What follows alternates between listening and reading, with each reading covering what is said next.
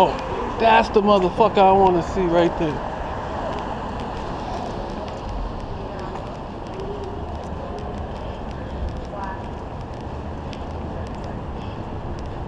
All right? No, I'm not all right. What's the matter, man? Marcus Tolbert, the guy who had the gun in his pocket, who was pulling it out when I was walking in the door, that motherfucker's posted up back there. When, when, when did he have, when did he have the gun?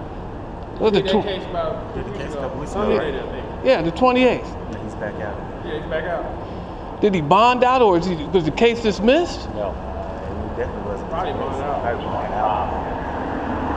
Because that ain't pretty. That motherfucker can't stand there. Because if he do something stupid, you guys are worried about something ugly, that's going to be ugly. I'm just telling you. what, what's he wearing tonight? Today? It's shit. The, the same shit here. the same All shit. that red hat problem. Yeah. Now you know the, you know the weapon that he had that day, right? You know the weapon was a BB gun, and he got charged with that shit. He dished it. I don't know. Did he have it? found it? He had, We he had it on his person. all that. He had it on his person because another officer engaged him with it. He had it on his person. It was a BB gun. So, um, I mean, he got charged with what, aggravated? Gotta try to He got charged with ag ag assault. I was turning. I mean, everything was done. So Yeah, everything he that's- did mind that's out. what we on that one. That's just you just you just learning how, how it works down here. With it. That's why we're trying to get a little stricter. I know you got charged with assault, definitely. Yeah, he got charged with ag assault. Hey, You man. guys need some directions?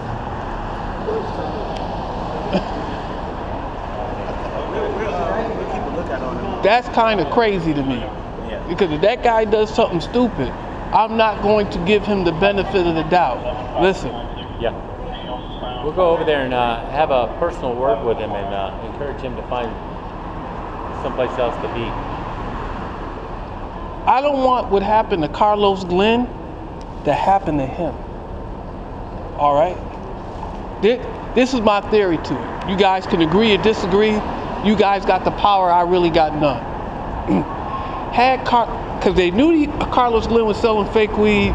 They knew he was out here strong arming robberies and doing little stupid shit like that. But he kept feeling free to come back down here and operate. Had he not feel free to come back down here and operate, he wouldn't have got shot and killed. Now that does not hold him uh, unresponsible or unculpable for his own goddamn actions because he was out there doing that stupid shit. Y'all let that ignorant motherfucker down here and let him keep coming back down here. He should have not felt free to come and bring his ass Yeah. down here. Now Say we'll your go guy, talk he got on the same stuff the other day. We'll, we'll talk. Oh, I'm gonna go home after the investigation is over. Shit.